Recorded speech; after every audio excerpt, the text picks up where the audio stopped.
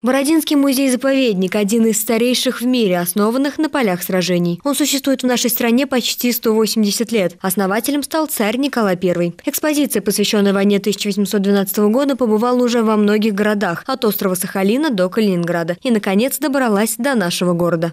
Здесь можно увидеть э, дорожное бюро, на котором э, на биваках, в палатках русские офицеры могли оставлять какие-то заметки, которые затем становились литературными произведениями.